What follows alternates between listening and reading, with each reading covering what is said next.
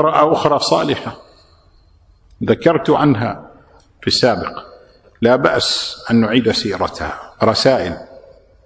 هذه المرأة الصالحة كانت صابرة إلى أبعد الحدود على قسوة الزوج. ما راحت؟ تركض. أبوي اليوم نازعني زوجي ولا كذا. لا أبدا. صبرت على قسوة الزوج. ورغم قسوة الزوج ومعاملته تلك القاسية صابرة شاكرة لله سبحانه وتعالى مصلية دائما تدعو الله سبحانه وتعالى أن يميتها ميتة لا تتعب فيها أحد. سبحان الله. ما لي بس في حياته لا حتى عند الممات. اللهم لا تتعب أحدا عند وفاتي. لا تتعب أحدا عند وفاتي. الزوج قرر أن يتزوج عليها.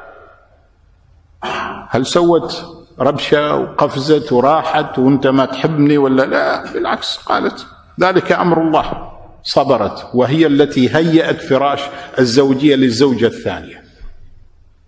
صبر ويقين بما عند الله سبحانه وتعالى.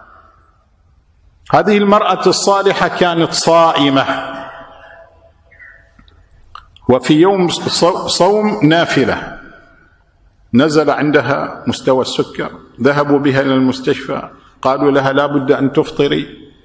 هي كأنها أحست بأنها ستغادر الحياة فقالت إن كنت مغادرة فأريد أن ألقى ربي وأنا صائمة. وأنا صائمة. ما هي إلا لحظات متسارعة إلا وتغادر هذه المرأة الصالحة وهي تذكر الله سبحانه وتعالى لا إله إلا الله. ماتت. والذي حصل عندما أخذت إلى البيت كان هناك كفن قد جهز لها من قبل أبنائها أو إنه احتياط موجود في البيت دائما. لم يجدوا هذا الكفن. أين هذا الكفن؟ إذا بهم يجدون كفن آخر لا يدرون إلى هذا اليوم. رغم مرور هذه القصة الآن كم سنة إلى يومكم هذا لا يدرون من أين ذلك الكفن أتى.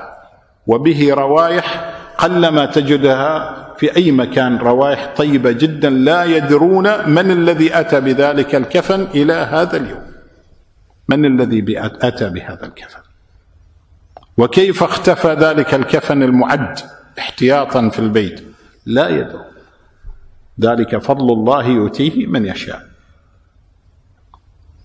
أيها الإخوة الموت سيأتي في أي لحظة. في أي لحظة.